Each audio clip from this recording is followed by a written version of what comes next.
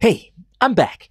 This is Chandler for Melda Production, and today I want to show you a quick little trick you can do uh, using the new Banks mode that was added in the recent update. So this Banks mode is actually really useful, especially if you're going to be trying to make some, you know, devices or instruments yourself.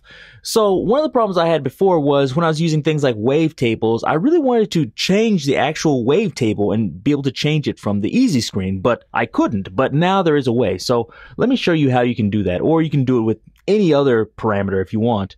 So what we're going to do here is we'll just start off here with the saw wave. But let's say we wanted to change this to something else. So I'll just move this in whatever way, like this. So we have our custom shape. Okay, but the good thing about this is I can morph it back and forth between this and saw, but let's say if I wanted to morph it between like two custom shapes, or let, let's say not morph it, I just want to change it. So I have more, uh, you know, waveforms to work with. So before I could try modulating all these points and things in here, and that works, but there's actually an easier and better way. So if we right click here, you see this, it says banks. And so we can choose a number of banks. I'm going to choose three, but you can choose a really high number. I don't know, it's like 256 or something. It's, it's really high. But I'll leave this at bank one. And what I'm going to do is just save it. Okay. Now, what I'm going to do is I'm going to add a different wave here in the custom. So I'll go like this and let's just click this. I already have this here. Okay. Now I'll right click again and I'm going to choose wave 2 and save this. And let's just do it one more time like this. Okay, and right click, set this to 3, and now I'm going to save it for the last time. So now I have three different banks, but you're probably thinking like, okay, well, how do I move between them? Do I have to right click and switch between them? But you don't. So what we're going to do here is go into just multi-parameter one. We'll add this and let's say in the generator, oscillator one, you see here under oscillator one, it says bank. Just click OK. And now it should let us move between them like that. You see, okay, there's the first, second, and third. And the way I usually like to do this is instead of using this normal mode, I like to use the banks mode here, and I just set it at like one, two, and three. And you can name this if you want, like, uh, let's just name it like first, second, and third.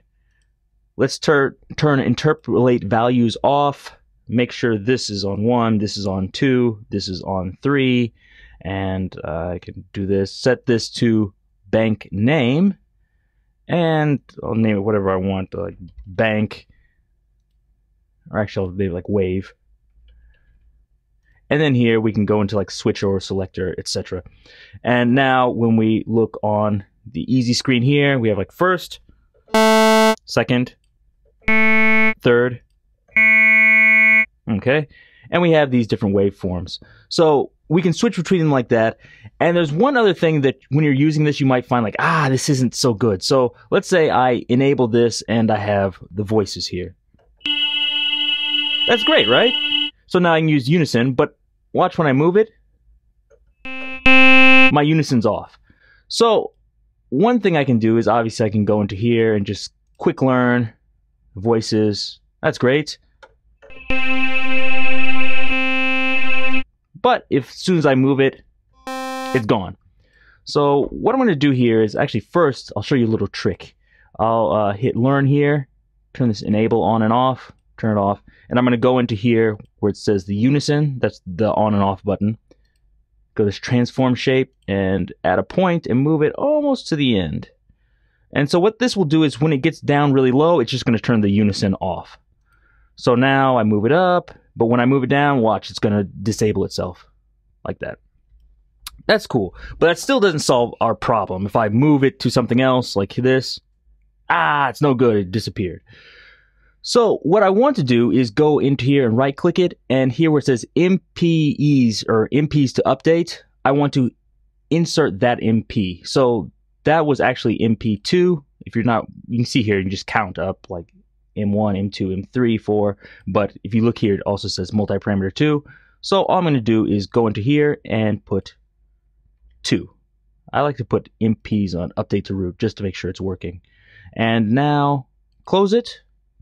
And now it should work. So when I move this, let's say it's at around like 12 voices. Now move to the second wave. So it should still be there. And third voice.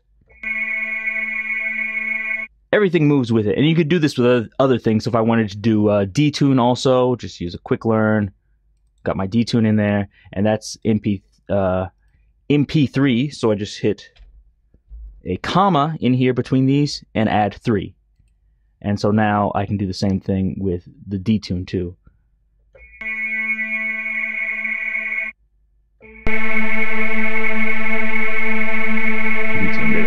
So you can do that with as many parameters as you want. So that's a really cool thing. Uh, I really like this because it means there's more things I can do with it. And I'll try to show you just maybe two uh, new devices I'm working on that actually was able to use this. Okay, so I probably showed you this before, but uh, this is just like a wavetable pad, a crystal pad. And before I was just using two wavetables and I could blend between them, but I kind of wanted to switch them up. And now using this Banks mode, I was able to. So I could do like the first wavetable here. Second wavetable. Third. Fourth.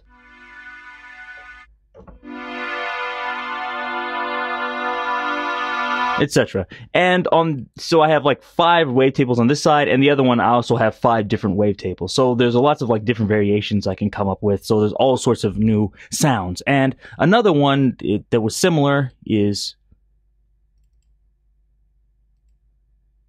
this. So this one it just makes different types of like hit sounds. So let me close this up. I'll make this easier to hear by just using the arpeggiator Let's set this to 16th notes. And so I have different sounds here, and as you move it around, of course, you can get different sounds. I'll play it quickly. Oh, turn the arpeggiator on. And you see here, here,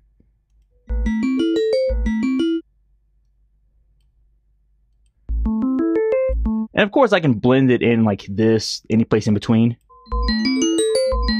create interesting sounds. And that gives me lots of sounds just as it is. But if you look here on timbre, I actually added other ones too. So instead of those sounds, I can get completely different sounds.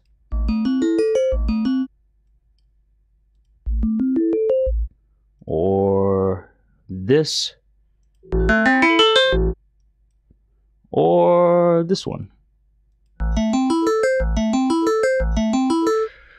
So now I'm able to get all sorts of sounds. It's not just four. Now I have four times, what is it, four here? Yeah, so now I have like 16 different sounds that can all be blended together. So for me, this is a really like, cool thing and it makes things, uh, especially designing these devices, much easier. So hopefully you got something out of this. If you did, give me a thumbs up, uh, leave me a comment down below, and check out all the other plugins at meldaproduction.com. Until next time, see you.